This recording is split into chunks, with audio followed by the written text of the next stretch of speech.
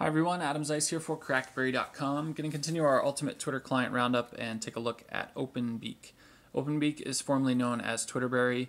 Um, it's pretty much the first Twitter client available for BlackBerry, so um, for the most part, everybody used it uh, when they first got into BlackBerry and Twitter. It was really the only one. There were a couple others floating around, but at that time, it was the best uh, there was. So um, Twitterberry since rebranded to OpenBeak.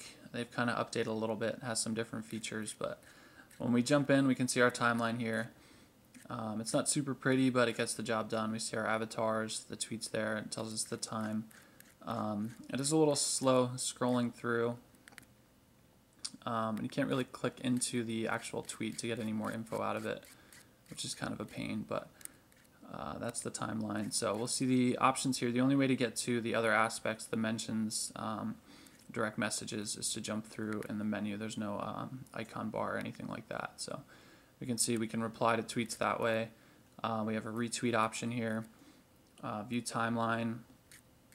Um, we can follow and unfollow, which is cool. There's a couple clients that don't have that, which is nice. Uh, we have user info, favorite, um, and that's pretty much it. So that rolls for the individual tweets. So if we clear out of that and we go back to the main screen here, we have the tweet screen, the what are you doing screen. Uh, pretty much no frills. Shows down the characters available when you type on the bottom there. Um, so this is our main menu. Here we see we have the public timeline, my timeline. This will show all of your uh, personal tweets. We can see our friends list, view direct messages. We get back into the timeline. Uh, we have a get replies, direct messages, take photo. You can view your favorites, search, add friend, um, and then down here we have our configuration screen. Um, not a whole lot of options. We have our Twitter information up top, the connection mode. Um, we have our update interval. We can set it to manual, and then you have 1, 5, 10, 30, 60, and 120. So again, I like this because you can set it down really low uh, to one minute. A lot of people choose 5 and suits them well. Uh, the cool thing about OpenBeak, it's got a ton of uh, image services, some um, if you like a variety, it doesn't have just the basic TwitPic or YFrog. It's got a couple other thrown in there as well. Um, you can choose to close it uh, when it moves to the background. Secure connection there.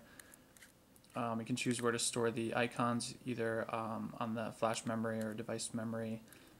And then we have our font size there. It starts out at a huge font, so you can actually tweak it. Um, it's got options all the way down, so if you like smaller timelines, you can fit more in, or you like a bigger font, you have all the options there. So we'll back out of that. Uh, not really a whole lot else to OpenBeak. It is 100% free, available at m.openbeak.com, and it's still getting updates every now and then, but uh, there's much better free alternatives. But if you don't know any better, a lot of celebrities actually still use OpenBeak slash Twitterberry because that's really all they know. Um, but things um, like Uber Twitter, uh, you can buy Tweet Genius, Seesmic even is getting new updates. It's fairly new, but they're pretty much a lot better alternatives um, than OpenBeak. But if you have an older device or you just really don't care, just check Twitter every now and then, or you just get news feeds or anything like that, then it may suit your needs. So that is it. Again, it is OpenBeak, formerly known as Twitterberry. It's available uh, on your device from m.openbeak.com.